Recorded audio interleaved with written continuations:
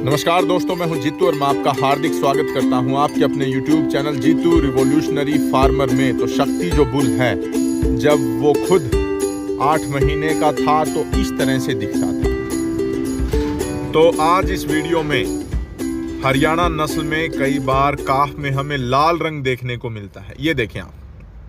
तो शक्ति का बेटा है, इसका नामकरण किया गया है भानु प्रताप।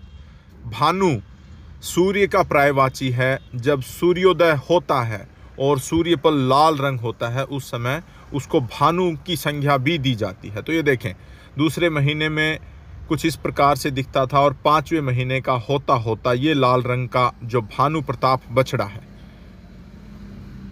वो इस तरह से अपना रंग परिवर्तित करता है। ये देखें, छह महीने का जब ये बछड़ा हुआ, तब इस प्रकार से था। और अभी, ये देखें आप। देख करके ताज्जुब ज़रूर करेंगे दस महीने और पूरे पूरे अट्ठारह दिन का ये हो चला है और अभी इसका आप रंग देखें।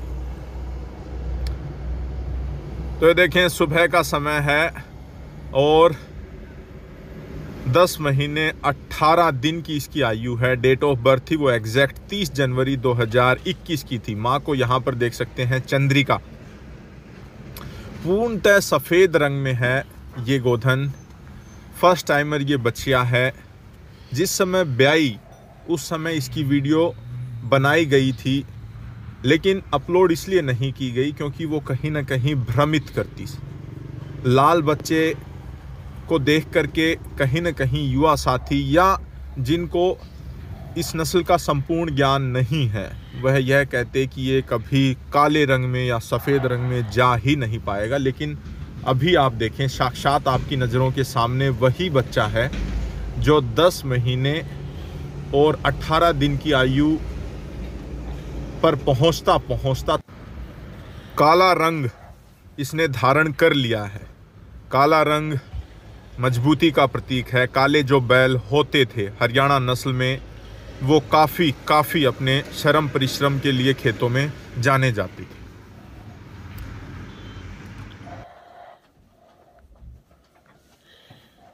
Google please tell me the time and date सात बज के सात मिनट, अट्ठारह दिसंबर। तो भानु की माँ, भानु की माँ जो कि चंद्रिका, इसका नामकरण किया गया था। श्वेता की ये बेटी थी और जब ये पैदा हुई तब से लेकर के। और पूरे ब्यात का जो दूध है, वो भी इसे इसी तरह से स्वच्छंद पिलाया गया था। पूरा दूध उस ब्यात का इस बछिया ने पिया था और उसके बाद प्रकृति के विधान से, प्रकृति के नियम से, प्राकृतिक तौर पर, नैसर्गिक तौर पर शक्ति से मिलान हो करके और इसका गर्भधारण हुआ था।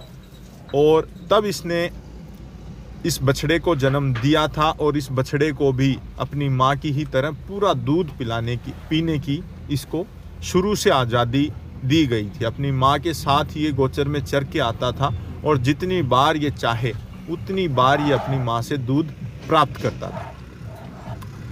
आज बछड़ों को जो उनका हक है, वो न पिला करके कहीं ना कहीं ज़्यादा से ज़्यादा एक लीटर या दो लीटर पिला दिया जाता है। लेकिन अगर इस नस्ल को पुनर्स्थापित हमारे समाज में करना है तो ऐसी हमें पीढ़ियों की आवश्यकता मिलेगी जो जिनका पोषण बचपन से ही काफ़ी अच्छा हुआ है।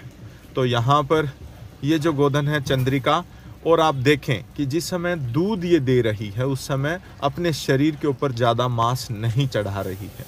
ये एक मिल मिल्क लाइन का एक छोटा सा करेक्टर होता है जो भी पशुपालन या गोपालन करते हैं उन, उन्हें ये पता है।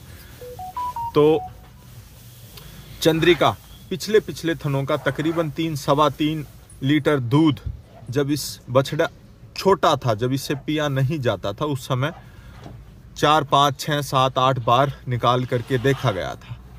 तो तकरीबन तकरीबन अंदाजे के तौर पर साढ़े ग्यारह बारह साढ़े बारह लीटर दूध इसने फ़र्स्ट टाइमर ने बनाया और आप खुद देखें कि 30 जनवरी की ये ब्याई हुई है और अभी 18 दिसंबर को ये वीडियो कवर किया गया है। तब तक बच्चे को आप ये देखें, तकरीबन तकरीबन तीन चार मिनट हो चुके हैं बच्चा माँ से दूध की प्राप्ति कर रहा है। जिस समय इसके नीचे दूध खत्म हो जाएगा, ये अपने आप अपनी जगह बदल देगी और फिर इस बछड़े को अपने नीचे नहीं लगने देगी।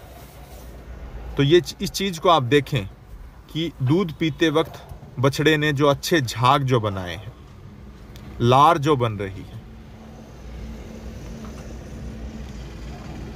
वो दूध की इसको जो अपनी माँ से अभी भी ठीक ठाक जो प्राप्ति हो पा रही है। तो ऐसा अक्सर जो कह दिया जाता है कि देसी गाय ज़्यादा लंबे समय तक दूध नहीं देती है, या दो महीना या चार महीना का इनका धीणा होता है तो आप साफ़ सुस्पष्ट देखें, दस महीने अट्ठारह दिन की ब्याई हुई हो चुकी है, फिर भी बछड़े को इतने समय तक दूध पिला रही है। ये देखिए, तकरीबन, ये देखें नीचे झाग आप साफ़ सुस्पष्ट देख सकते हैं।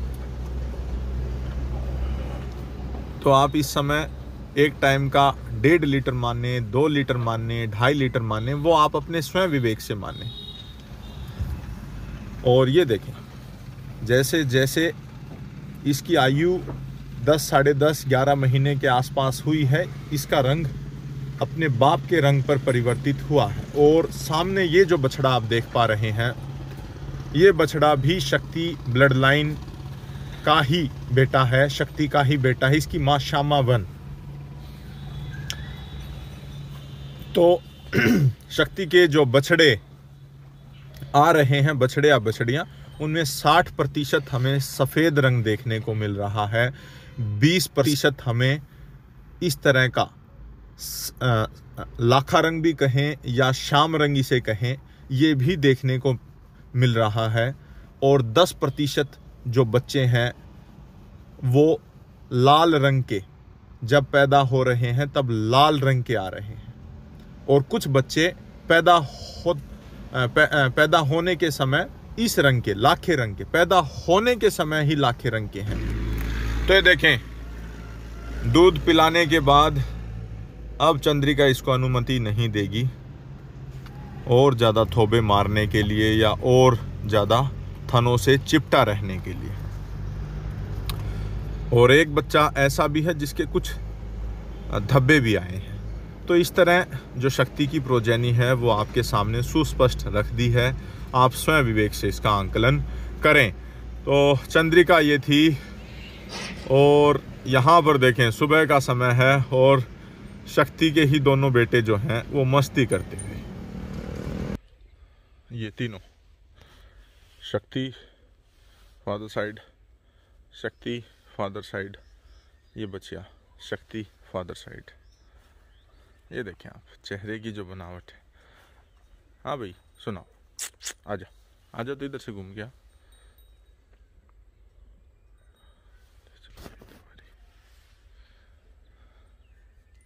कॉन्ट्रास्ट आप देखें।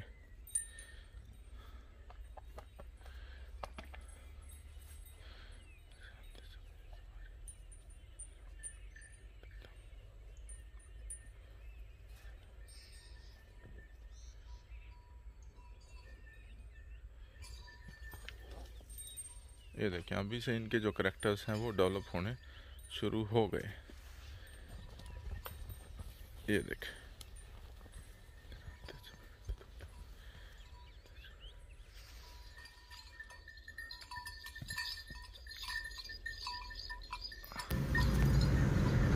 तो शक्ति की जो आयु है, तीन तीन साल और ग्यारह महीने के आसपास।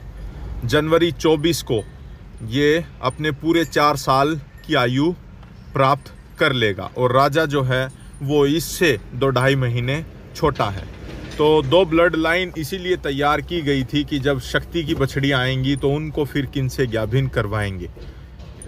वो राजा है पीछे से। ये देखे। सुबह का समय है। अपने दाने चारे पर आते हुए।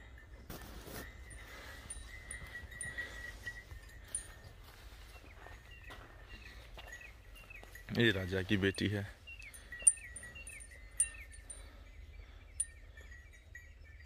ये शक्ति। तो इसका जो मेक है वो काफ़ी काफ़ी स्ट्रॉन्ग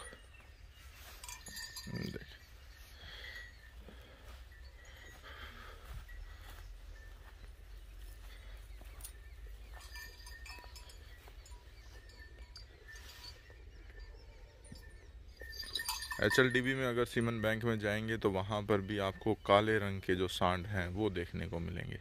हरियाणा नस्ल के। चार पाँच सांड अभी जिनका सीमन कलेक्शन हो रहा है, ब्लैक कलर में है इस तरह के। ये शक्ति की बेटी। इधर